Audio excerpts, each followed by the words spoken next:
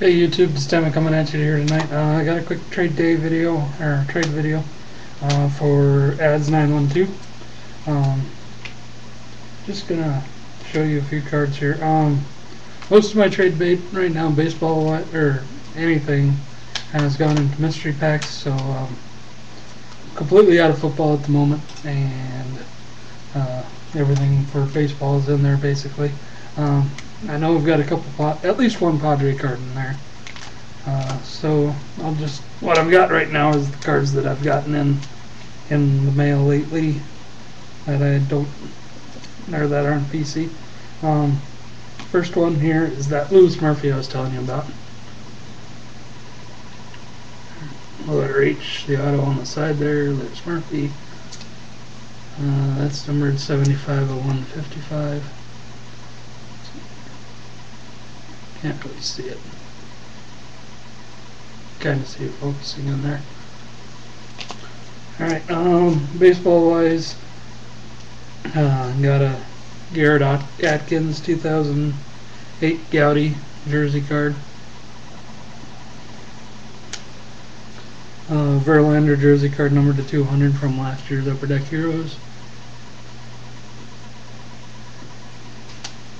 Uh, this year's Topps career best auto, not numbered, of Akinori Iwamura. Uh, Premier rookie signatures, numbered 20 at 75, Josh Anderson from last year's Premier. Uh, same as the Verlander, basically numbered to 200. Uh, jersey card of Jeff Francis. Uh, Flair Greats of the Game. Uh, Code of History from 2003. Flair. Gary Carter. And the last card here, um, I don't know if I'm going to be willing to part with so easily. Um, just because book value is so high and I really need money right now, I prefer to sell it.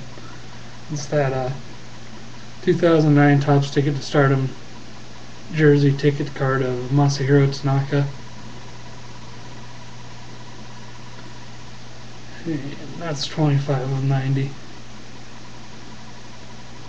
Alright man, let me know um, if you want any of these, any combination of those cards we talked about. So, the is for sure, the other three, um, if you're willing to part with them for any of this stuff. Cool, otherwise I'll talk to you later. Later.